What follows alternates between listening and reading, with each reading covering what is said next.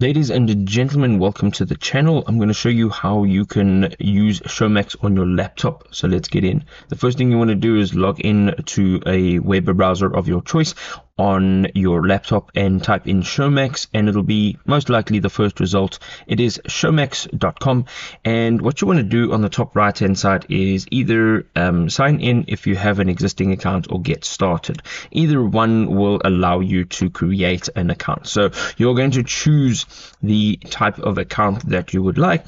So either the Entertainment Premier League or Entertainment Plus Premier League and with the appropriate pricing you can see um, what it will cost. You can now tap on select and here you want to select all devices. Now this will allow you um, to open it on your laptop and not only your mobile device. You want to now tap on continue. You want to enter in your details here and once you create your account you will then enter your billing details and you will have Showmax on your laptop. If this was helpful drop us a like. We'll see you next time. Cheers.